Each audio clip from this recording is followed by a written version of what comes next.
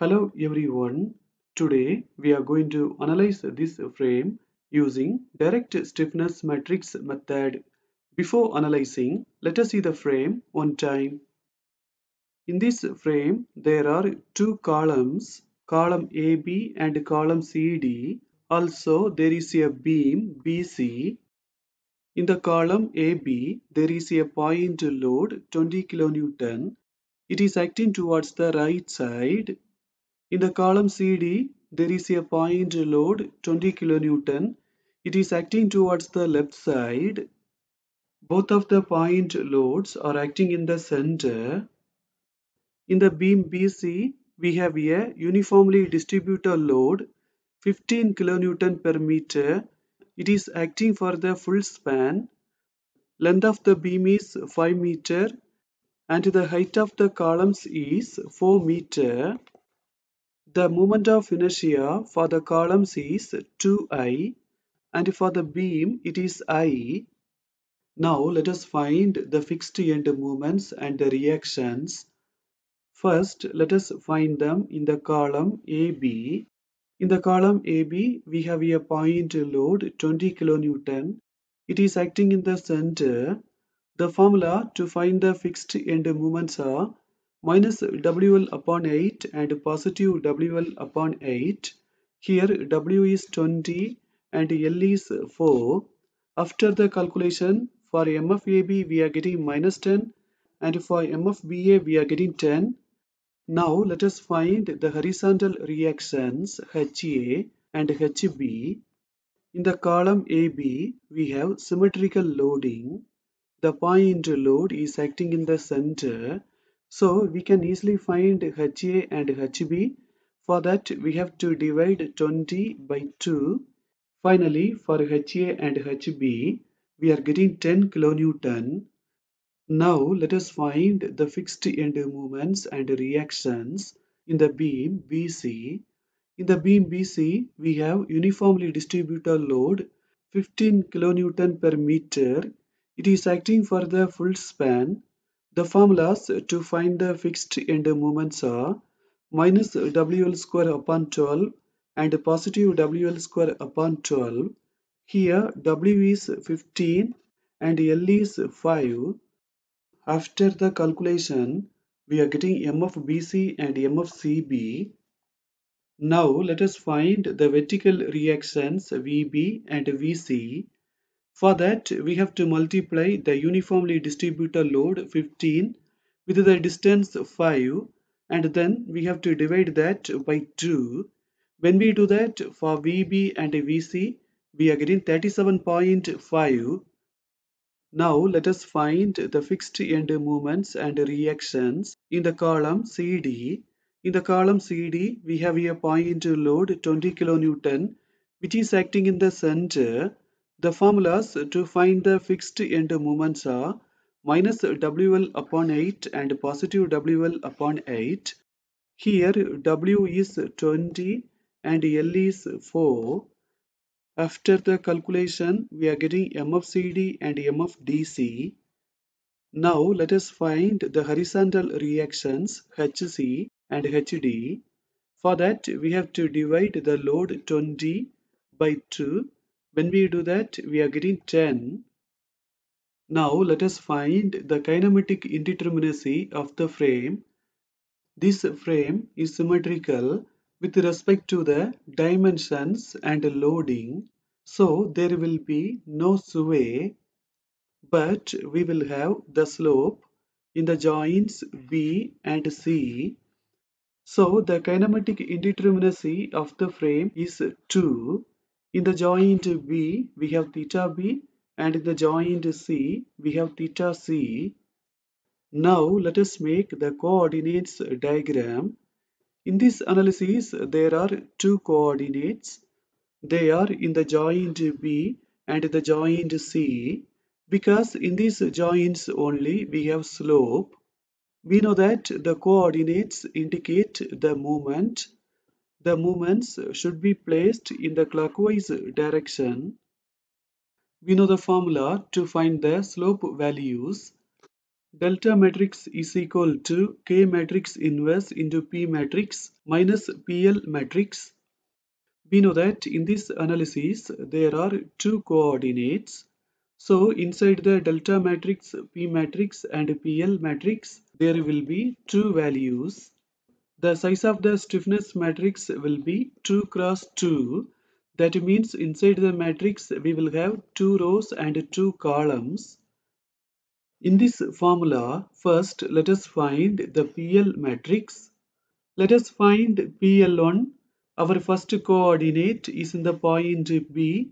In the point B, we have found two fixed end movements M of BA and M of BC. We have to add both of them.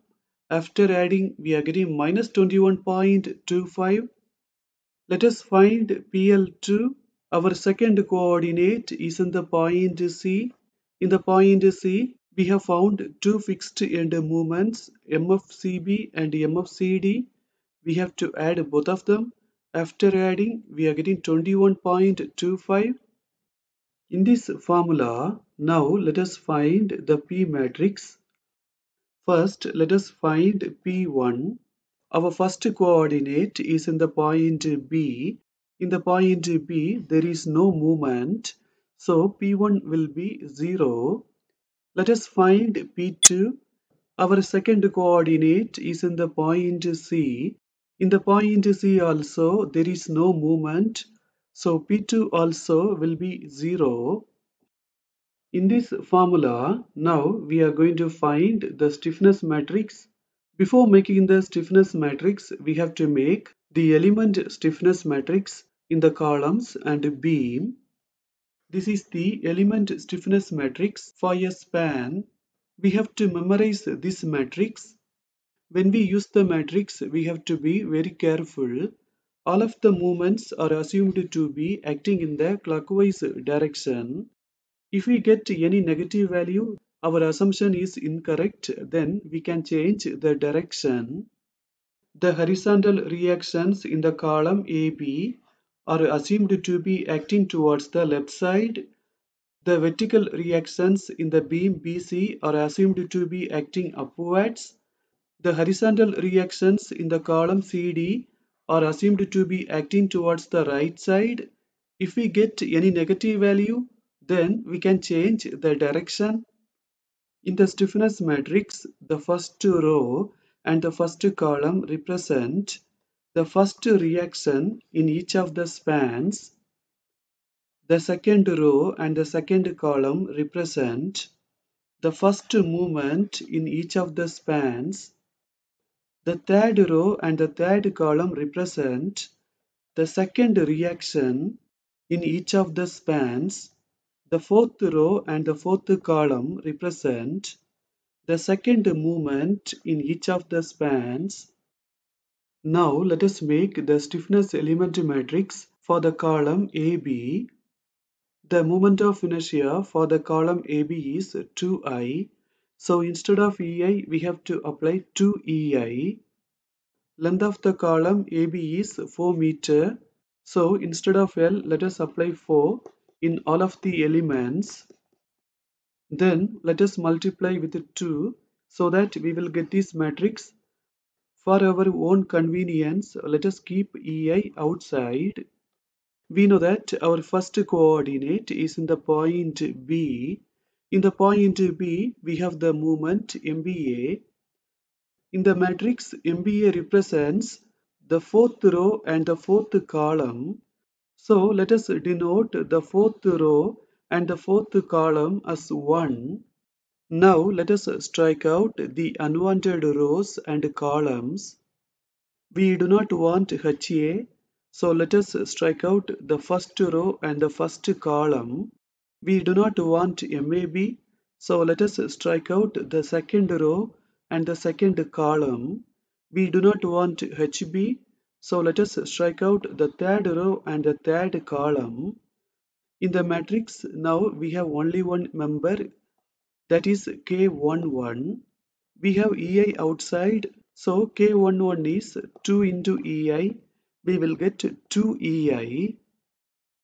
Now let us make the element stiffness matrix in the beam BC. Length of BC is 5. So instead of L, let us apply 5 in all of the members. Our first coordinate is in the point B. In the point B, we have the moment MBC. In the matrix, MBC represents the second row and the second column. So let us denote the second row and the second column as 1. Our second coordinate is in the point C. In the point C, we have the moment MCB. MCB represents the fourth row and the fourth column. So let us denote the fourth row and the fourth column as 2. Now let us strike out the unwanted rows and columns. We do not want VB, so let us strike out the first row and the first column.